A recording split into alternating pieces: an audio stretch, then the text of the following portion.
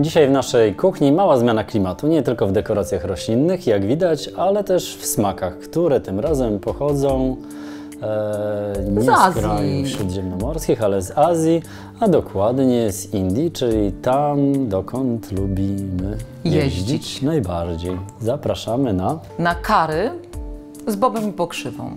Ale jak widać, mężczyźni bardziej interesują się dekoracjami, a kobiety przygotowały produkty. do czasu. Mężczyźni bardzo interesują się jedzeniem, ale najlepiej, kiedy ono się już pojawi na stole, na talerzu. No nie, nieprawda, nieprawda, kłamiesz. No dobra. Uwielbiasz Dobra, przygotowywać. Nie jest to prawdą. Kokietuję. Zabieram się za przygotowanie pokrzywy, którą nazrywała Jola, bo to ona jest specjalistką od zrywania pokrzywy. Z tej całej sterty użyjemy tylko 4-5 gałązek, a reszta trafi do soku pokrzywowo-jabłkowo e, cytrynowego. Jeśli macie ochotę sobie przypomnieć, jak go robiliśmy, zapraszamy, znajdziecie go tutaj.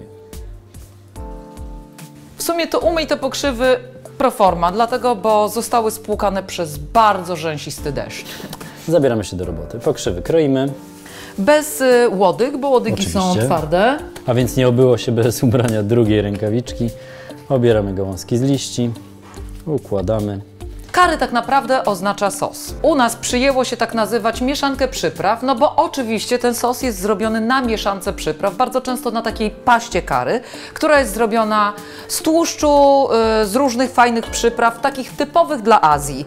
E, Każda gospodyni może sobie własne kary wymyślić, a Właśnie tak to jest. W każdym domu w Indiach kary jest bardzo autorską przyprawą i ta mieszanka jest właśnie swoista dla tego jednego domostwa. więc dla naszego też będzie swoista.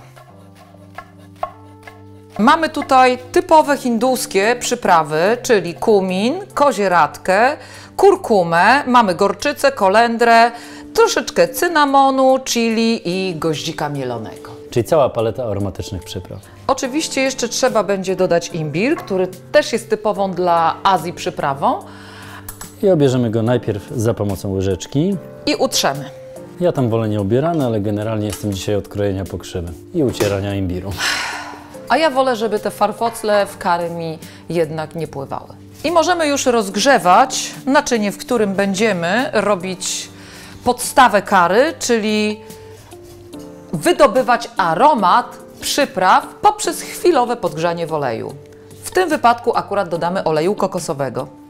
Chwilę temu wstawiliśmy do piekarnika parowego bób, który właśnie słyszę, że się ugotował. Możemy go zatem wyjąć i będzie czekał na swoją kolej, żeby trafić do kary. Już możemy wrzucać tłuszcz kokosowy.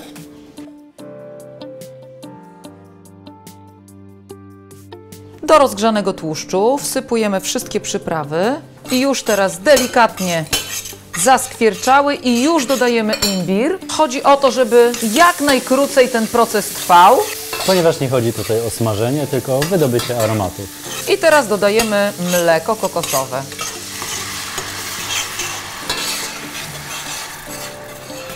Gdy mleko kokosowe się zagotuje, dodajemy pomidory, mieszamy, i czekamy, żeby zagotowały się przez chwilę. i już dodajemy sos sojowy, który nam trochę dosoli potrawę. Bób On jest ugotowany, ale gdybyśmy chcieli dodać świeży, niegotowany, to po prostu gotujemy go 10-15 minut w sosie. i pokrzywy. I na tym etapie można już ściągnąć rękawiczki. Chociaż pokrzywa po przemyciu raczej już nie parzy, ale to tylko raczej. Bardziej raczej niż nie parzy.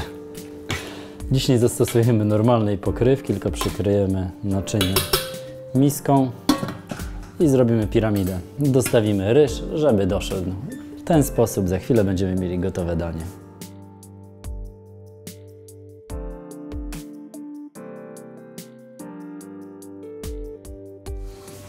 Ryż już doszedł.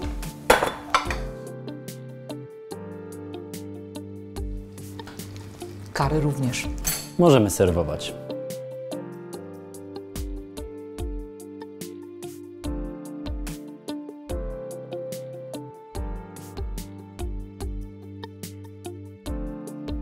Mniejsze, dla mnie mniejsze.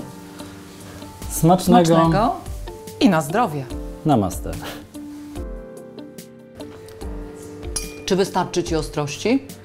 Dla mnie w sam raz, ponieważ my nie jesteśmy z tych hindusów, którzy lubią jadać ostro. Ale jeżeli lubicie ostre, to dodajcie sobie no połowę więcej tych przypraw, które my daliśmy.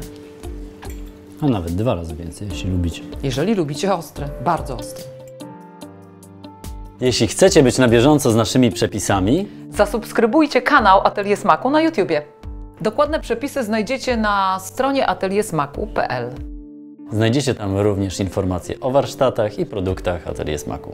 A gdybyście chcieli mieć wszystkie przepisy Atelier Smaku na swojej półce, znajdziecie je w naszej najnowszej książce Atelier Smaku 108 potraw bezglutenowej kuchni wegańskiej. Zapraszamy więc do naszego sklepu na ateliersmaku.pl.